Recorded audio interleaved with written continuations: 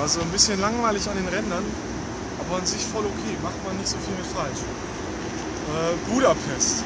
Gestern habe ich mir eine Zeitung gekauft. So ein bisschen, schon wieder so eine Bahn.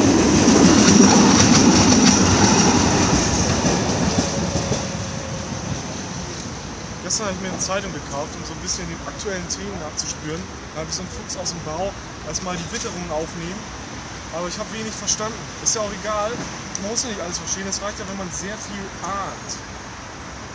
Aber der Typ, der mir die Zeitung verkauft hat, ja, ist mir dann aufgefallen, war derselbe Typ, der mir im Supermarkt eine Flasche Wasser verkauft hat. Und derselbe Typ, der mir am Abend danach im Restaurant die Speisen gebracht hat. Ich habe ihn dann gefragt, du bist doch der Typ, der hier als Typ rumläuft. Und dann habe ich gesagt, ja genau, ist dir das noch nicht aufgefallen? Wir sind ungefähr 40 Leute, 30 Leute und wir machen hier alles. Ja, wir verkaufen hier alles, wir machen hier alles. Alle anderen Leute, die du siehst, sind alles Touristen. Das ist Budapest. Nächster Halt, Belgrad.